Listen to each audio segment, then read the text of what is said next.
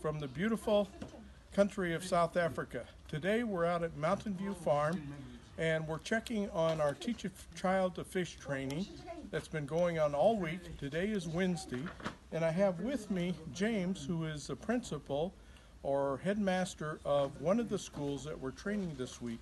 We have five people from two different schools, uh, five each from two schools, and they're being trained. And James is here to check on us today. Would you tell us what you're finding? Uh, from the training that we have seen so far, uh, the students are very pleased and they have learned a lot and they are ready to do the practical work as they've indicated that tomorrow is a practical work of all what they've been learning throughout the week. They will get African soil under their fingernails tomorrow.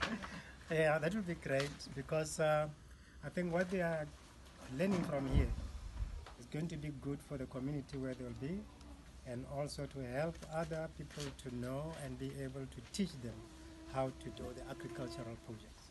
And these gar- gardens that we're placing in schools like the one at James's school, his school is a primary school, and the gardens will even help feed the children. So it's a big blessing for nutrition for the children.